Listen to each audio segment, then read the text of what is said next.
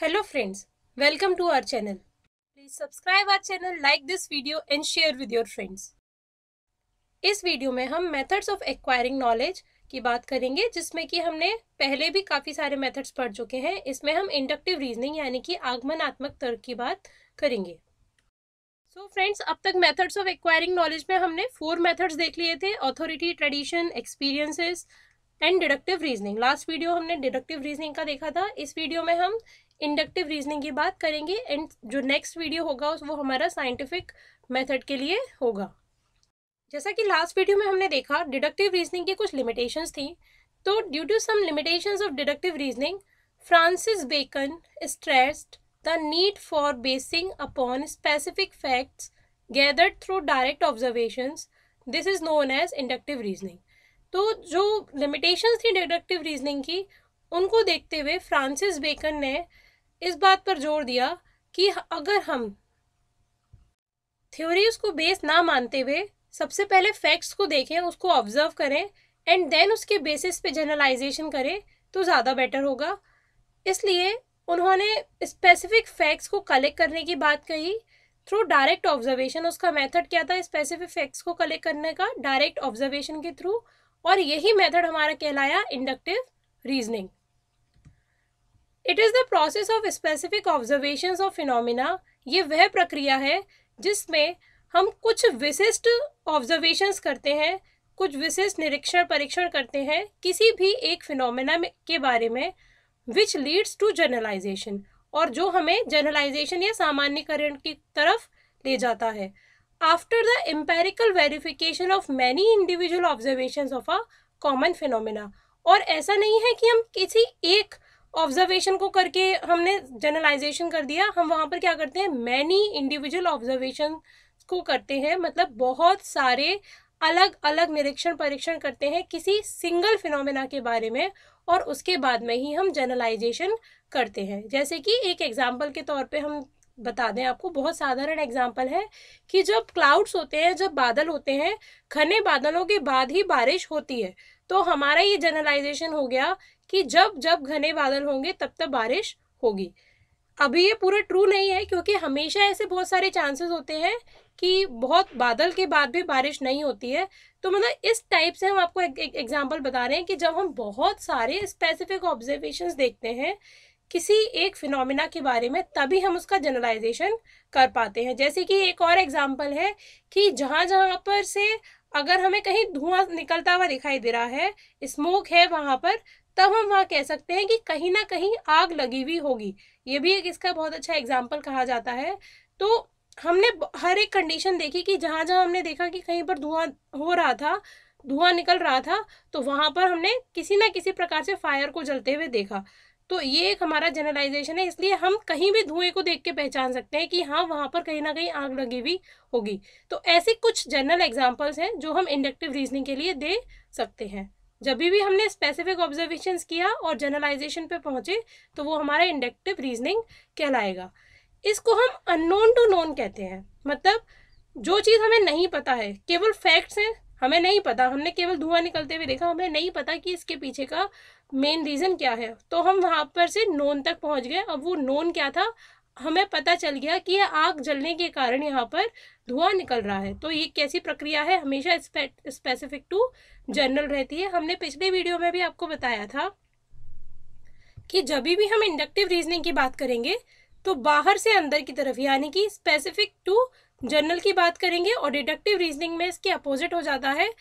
अंदर से बाहर की ओर हमारा जो भी प्रोसेस रहता है, यानी कि जनरल टू स्पेसिफिक प्रोसेस हो जाता है डिडक्टिव रीजनिंग में।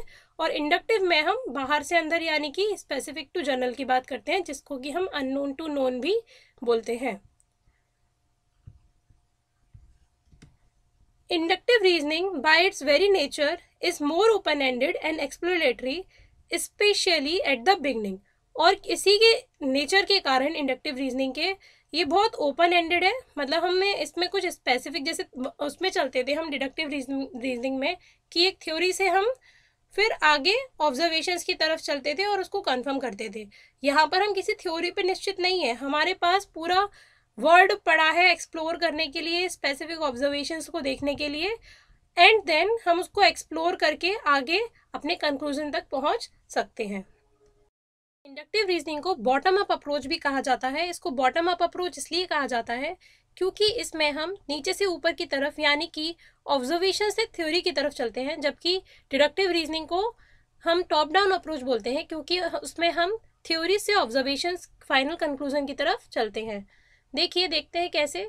In inductive reasoning one begin with specific observation and measures inductive reasoning में कोई भी पर्सन स्पेसिफिक ऑब्जर्वेशन या मेजर्स से शुरुआत करता है। जैसे अपनी, जो हमने एग्ज़ाम्पल लिया कि जहाँ पर क्लाउड होंगे, जहाँ पर स्मोक होगा, उसको देख के हम कह सकते हैं कि वहाँ पर कहीं ना कहीं फायर या आग होगी। तो एक पर्सन ऑब्ज़र्व कर रहा है सारे पैटर्न्स ऑफ़ स्मोक को मतलब जो धुआँ है, उसके पैटर्न को वो ऑब्ज़र्व कर रहा है कि कैसे कैसे धुएँ के पैटर्न्स हैं ब्लैकिश है या उसके कलर को या उसकी डेंसिटी को, इन सबको वो ऑब्ज़र्व कर रहा है। फ़र्स्ट स्टेप हमारा हो गया observation second step begin to detect patterns and regularities अब उसमें वो उनके पैटर्न्स को आइडेंटिफाई कर रहा है कि कब, कैसे कैसे पैटर्न्स होने पर फायर मिली है और कैसे कैसे पैटर्न्स होने पर आग मिल, नहीं मिली है? जैसे धुआँ दूसरे केस में भी जब निकलता है, जैसे अगर कोई पानी गर्म हो रहा है किसी तरीके से, हो सकता है इलेक्ट्रिसिटी के थ्रू पानी गर्म हो रहा हो तो जो वाष्प बन रही है, जो भाप बन रही है, वो भी हमारी धुआँ जैसा लुक देती है। तो इसलिए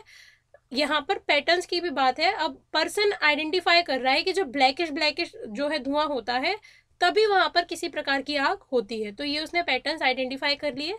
देन वो अपना टेंटेटिव हाइपोथेसिस बनाएगा कि जहाँ पर ब्लैकिश धुआँ होता है, वहाँ पर फायर होती है। ये उसकी टेंटेटिव हाइपोथेसिस हो गई। थर्ड पॉइंट है हमारा formulate some tentative hypothesis that we can explore and जो लास्ट पॉइंट है that is finally end up developing some general conclusions और थ्योरी लास्ट में वो कुछ जनरल कंक्लूजन और थ्योरी पर पहुँचता है। इस हाइपोथेसिस को और फिर फर्दर टेस्ट करने के बाद और ऑब्जर्वेशंस देखने के बाद में वो एक फाइनल थ्योरी बना देता है कि हाँ जहाँ पर जो ब्लैकिश धुआँ होगा, वहाँ पर हम कह सकते हैं कि वहाँ पर आग होने के चांसेस हैं। आई होप आपको इतना समझ में आया होगा। इसीलिए इसको बॉटम अप अप्रोच बोला जाता है, क्योंकि इसमें एक पर्सन या एक रिसर्चर ऑब्जर्वेशन से स्टार्ट करता हुआ मेन थ्योरी तक आता है। जबकि डिडक्टिव रीजनिंग में क्या होता था, हम थ्योरी से स्टार्ट करके कंक्लूजन तक जाते थे, उसलिए इसको टॉप डाउन अप्रोच बोलते थे। आई होप आपको इतना समझ में आया होगा। इंडक्टिव रीजनिंग यानी कि आगमनात्मक तर्क की कुछ स्ट्रेंथ्स हैं। First it is concern with the generation of new theories emerging from data इसका जो मेन चीज़ है मेन पर्पस है जनरेशन ऑफ़ न्यू थ्योरी यानी कि नए नए जो भी थ्योरीज हैं, उनका निर्माण करना, नए सिद्धांतों को बनाना, जो कि किसी न किसी प्रकार के डेटा के कैलकुलेशन करने से या उसको पैटर्न आइडेंटिफाई करने से हमारी थ्योरीज बनी है। द इज़ इसमें हम प्रोबेबिलिटीज को अच्छे से स्टेबलाइज कर पाते हैं। The strength of inductive reasoning lies in stabilizing probabilities यानी कि जो भी संभावनाएँ हैं, जो भी प्रायिकताएँ हैं उसको हम बहुत अच्छे से डेटा के आधार पर इसमें बना पाते हैं। The more observation you make will determine how accurate your conclusion is इसमें हम जितने ज़्यादा से ज़्यादा ऑब्जर्वेशन लेंगे नंबर ऑफ़ ऑब्जर्वेशन जितना हम बढ़ाते जाएँगे, उतना ही एक्यूरेट हमारा कंक्लूजन होता जाएगा। उतने ही अच्छे कंक्लूजन पर हम पहुँचेंगे जितना नंबर ऑफ़ ऑब्जर्वेशन हमारा ज़्यादा होगा। There are some weaknesses also इनकी कुछ वीकनेसेज हैं। First it is incomplete in nature ये इनकम्प्लीट होती है नेचर में इंडक्टिव रीजनिंग कहीं कहीं पर डिडक्टिव रीजनिंग का उसके साथ में यूज़ किया जाता है। इनकम्प्लीट क्यों होती है? क्योंकि one may reach false conclusions even with accurate observation कि कोई एक पर्सन बिल्कुल एक्यूरेट ऑब्जर्वेशन लेने के बावजूद मतलब सही सही उसने ऑब्जर्वेशन किए हैं, उसके बाद भी वो गलत कंक्लूजन पर पहुँच सकता है। सेकेंड इट इज़ लिमिटेड ये लिमिटेड है, क्यों? क्योंकि इसमें हमें सारा जो है हमारा जो ऑब्जर्वेशन है, उस पर बेस्ड होता है। इसलिए एक पर्सन जैसे हमने आपको यहाँ पर बात की कि मोर ऑब्जर्वेशन जितने आप लेंगे, उतना अच्छा आपका कंक्लूजन होगा। तो अगर पर्सन सारे ही फैक्ट्स को या सारे ही जो ऑब्जर्वेशन है, उनको नहीं कर सकता फॉर एग्ज़ाम्पल हम कह रहे हैं कि सारे डॉग्स जो हैं, वो टॉल होते हैं। तो हो सकता है उस पर्सन ने केवल टॉल डॉग्स पर ही अपना एक्सपेरिमेंट किया हो। उसके सामने कोई भी ऐसा डॉग आया ही ना हो जिसकी हाइट शॉर्ट है। तो इसलिए ये लिमिटेड है क्योंकि एक सिंगल पर्सन सारे फैक्ट्स को इंडिविजुअली एक्सपेरिमेंट नहीं कर सकता। कहीं ना कहीं हमारे पास चांसेस ऐसे रह जाते हैं कि कुछ फैक्ट्स या कुछ ऑब्जर्वेशन करने हमारे रह गए।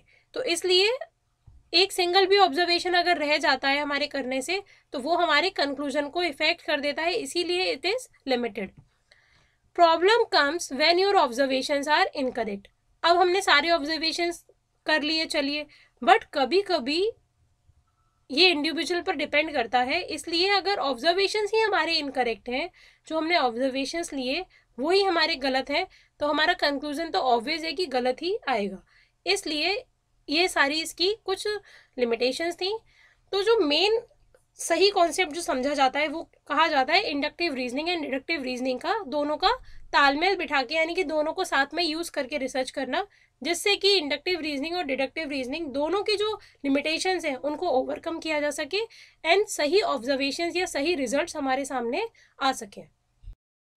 सो so फ्रेंड्स अब तक हमने five methods of acquiring knowledge cover किए हैं। नेक्स्ट वीडियो में हम साइंटिफिक मेथड या वैज्ञानिक विधि को कवर करेंगे। तब तक आप यहाँ पर जो हमने आपको लिंक दे रखा है, उस लिंक पर क्लिक करके हमारे कुछ और वीडियोस भी देख सकते हैं। स्टेट से रिलेटेड जो वीडियोस हैं। आई होप फ्रेंड्स आपको ये वीडियो पसंद आया होगा। Then like this video share with your friends जिनसे कि वो भी अपनी स्टडी स्टार्ट कर पाए। एंड अगर आप इस चैनल पे नए हैं देन सब्सक्राइब आवर चैनल जिससे आपको नोटिफिकेशन टाइम टू टाइम मिल पाए। Thank you and have a nice day